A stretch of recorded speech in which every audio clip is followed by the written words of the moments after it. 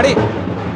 थार की कला और संस्कृति बाड़मेर की सड़कों पर लगातार अलग अलग कलाकार जो हैं, वो यहाँ पर ढोल नगाड़ों के साथ नृत्य कर रहे हैं और दूसरी तरफ़ यहाँ पर ऊँट घोड़े श्रृंगारित हुए हैं और बाड़मेर में थार महोत्सव का आगाज़ हुआ है और इसी आगाज़ की शुरुआत की है बाड़मेर के जिला कलेक्टर लोक बंधु ने।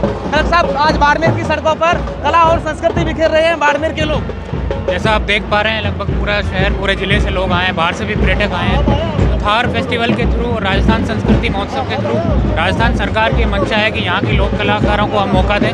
साथ ही अन्य संस्कृतियों से भी यहाँ के लोग परिचित हों। उसके लिए आयोजन, भव्य आयोजन किया जा रहा है। लगातार तीन दिन आप प्रोग्राम देखेंगे जो यहाँ की कल्चर के विभिन्न आस्पेक्ट्स हैं। चाहे यहाँ की वेशभूषा हो खान पान हो यहाँ के लोक कलाकारों का जो गाने का तरीका है यहाँ के जो म्यूजिकल इंस्ट्रूमेंट्स हैं सब कुछ आपको यहाँ देखने को मिलेगा। सर आज बाड़मेर के जितने भी अधिकारी हैं सारे जननेता हैं वो भी इसी प्रकार की यहाँ की बाड़मेर की वेशभूषा में नज़र आ रहे हैं। अपने आप में अनोखा मैसेज देने की कोशिश की जा रही है। निश्चित तौर पर जो हमारे यहाँ की वेशभूषा है वो अपने आप में यूनिक है और उसकी एक अपनी पहचान है। सभी से आह्वान किया गया था और ज़्यादातर लोगों ने उसे एडियर किया। और वो लोग यहाँ की जो लोकल वेशभूषा है उसी में आए और आगे भी आने वाले जो भी प्रोग्राम है वो यहाँ के लोकल जो वेशभूषा है खान पान है, यहाँ की बोली है, उसी से रिलेटेड कोई ना कोई जो प्रोग्राम है वो रखे गए इवेंट्स उसी को लेकर है ताकि उसको ही हम डिस्प्ले करें। निश्चित रूप से बाड़मेर के विधायक हमारे साथ हैं। एम एल साहब किस तरीके का आयोजन है और लोगों से क्या कहना चाहेंगे कि ज़्यादा से ज़्यादा लोग कार्यक्रम में भाग लें? थार महोत्सव के अंदर बाड़मेर वासियों को बहुत बहुत बधाई देना चाहूँगा। ये जो धोरों की धरती बाड़मेर है जिसके अंदर तेल है, लिग्नाइट है, रिफाइनरी बननी है, उद्योग इंडस्ट्री बाड़मेर कहाँ जा रहा है। तो इस महोत्सव के ज़रिए मैं कहना चाहूँगा कि बाड़मेर की परंपरा है। बाड़मेर किस तरह से हमारा कल्चर है, ये जो इस थार महोत्सव के अंदर हम सारा आपको ये देखने को मिल रहा है। तो मैं इस मौके पर बधाई देता हुआ सब और उनके साथ बहुत अच्छे कवि आ रहे हैं, उसमें भी सभी आवे और तीन दिन का कार्यक्रम है, इसको हम सब मिलकर ये खुशियों का कार्यक्रम है। बाड़मेर किसे अच्छा हो, सुंदर हो सब किस तरह से हम बाड़मेर को आगे ले जाएँ हम सब मिलकर बाड़मेर के विकास में भागीदार बने यही कहता हुआ सबको मेरी तरफ़ से बहुत रूप से बाड़मेर के सभी लोगों को बाड़मेर राज परिवार के मुखिया हमारे साथ राहुल साहब बाड़मेर की परंपरा और संस्कृति को बढ़ावा देने के लिए समय समय पर सब लोग प्रयास करते रहे। ऐसे में थार महोत्सव कितना ज़रूरी है? थार महोत्सव बहुत ज़रूरी है जैसा कि आपने खुद ने बताया ये हमें हमारी संस्कृति पुरानी सभ्यता से रूबरू कराने का एक बहुत अच्छा मौका है। इसके अंदर आप देखिए, बहुत सारे प्रतियोगिताएँ भी आयोजित करी जाएगी। तो हमारा जो पुराना कल्चर है, जैसे इसमें एक साफा बांधने की प्रतियोगिता है, अब आज के टाइम में सब लोग साफा बांधना भूल गए हैं। तो इस तरह की प्रतियोगिता आयोजन करने से हम हमारी पुरानी संस्कृति और सभ्यता को नहीं भूलेंगे।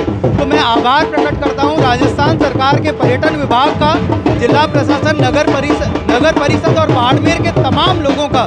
जो इस हार महोत्सव को सक्सेसफुल बनाने के लिए काफ़ी लंबे टाइम से जी जान से जुड़े हुए हैं। तो आपके माध्यम से सबसे अनुरोध करूँगा कि आने वाले ये जो तीन दिन है, इसके हर कार्यक्रम में ज़्यादा से ज़्यादा संख्या में आप लोग पार्टिसिपेट करें, ताकि सबका मनोबल बढ़े और इस हार महोत्सव को हम कभी भी बंद नहीं करें। निश्चित रूप से यही सब लोग चाहते हैं और दूसरी तरफ़ मेरे सहयोगी से कहूँगा कि तमाम वो तस्वीरें दिखाएँ इसमें आप देखिए कि अलग अलग जगहों से यहाँ पर जो युवतियाँ पहुँची हैं, वो नृत्य कर रही हैं। तमाम लोग यहाँ पर देख रहे हैं। सिर्फ़ यहाँ के स्थानीय कलाकारों को ही नहीं, बल्कि अलग अलग राज्यों से जो कलाकार यहाँ पर पहुँचे हैं, उनको भी मौका देने की यहाँ पर कोशिश की जा रही है। और इस थार महोत्सव में सबसे आकर्षण का जो केंद्र रहेगा, जो कार्यक्रम रहेगा, वो ये बीएसएफ के कैमल जो हैं, वो रहेंगे। और ये कैमल वहाँ पर टैटू शो भी करेंगे और तमाम लोग जो हैं, इस प्रकार के थार महोत्सव को निहारने के लिए सड़कों पर भी इंतज़ार कर रहे हैं। कैमरा सहयोगी उम्मीद के साथ Ashok Sera, first India news, Barmer.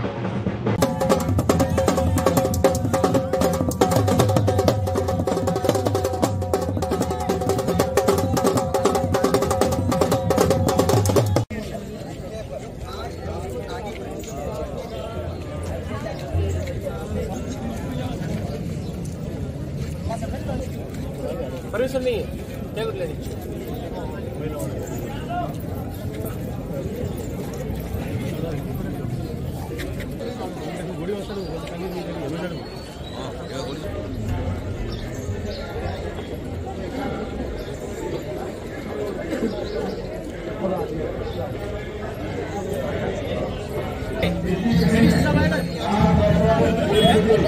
Main कुल मिला के